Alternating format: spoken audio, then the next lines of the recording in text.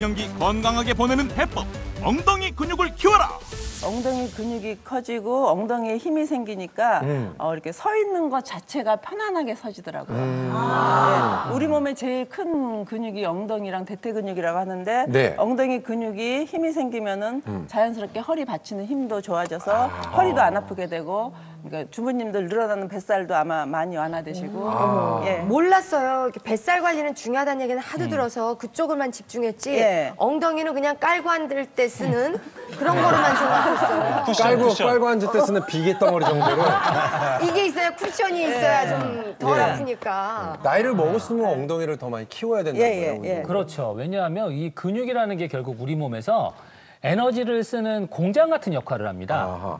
그런데 그 근육 중에서 제일 큰 근육이 바로 엉덩이 근육이에요. 야. 그러니까 엉덩이 근육이 튼튼해지고 엉덩이 근육을 키운다라는 건 뭐냐면 우리 몸에 화력 발전소가 이제 빵빵하게 돌아가기 시작하는 거거든요. 지방을 확확 태우는 건가요? 그렇죠, 맞습니다. 어. 네, 예전에는 그냥 아궁에다가 불을 지폈다면 이제는 화력 발전소에서 이 에너지를 소모를 하기 때문에 군살이 찔 시간이 없는 거죠. 근데 오영 씨는 지금 막 화력이 막 그죠? 네, 맞습니다. 예. 지방이 막 엄청 타고 있는 거네요. 엉덩이 근육 키우는 손가방 운동법 가방을 든 채 다리를 넓게 벌린 후 엉덩이 힘으로 번쩍 들어 올려주세요 오늘의 의뢰인 명현숙 씨도 따라해봤습니다 무릎을 살짝 구부리시고 살짝 구부리시고 엉덩이를 최대한 뒤로 빼세요.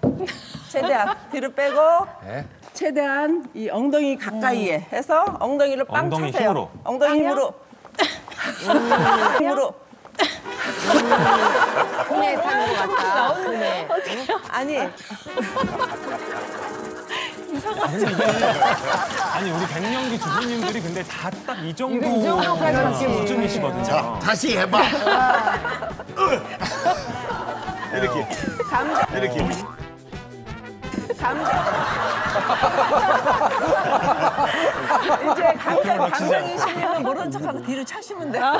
근데 진짜 엉덩이는 이렇게 앉을 때만 썼지. 예, 엉덩이를 움직여라 이랬을 때 예. 무슨 말인지 모르겠더라고요. 특히 나이 들면서 엉덩이에 별로 신경 안 쓰시고 별로 집중을 안 하시는데 다, 다른 부위 운동하시는 것보다 이거는 집에서 혼자 계실 때도 하실 수 있으니까 엉덩이 운동을 매일 꾸준히 실천을 하시면은 아마 달라지는 몸을 느끼실 거예요. 네, 감사합니다. 감사합니다.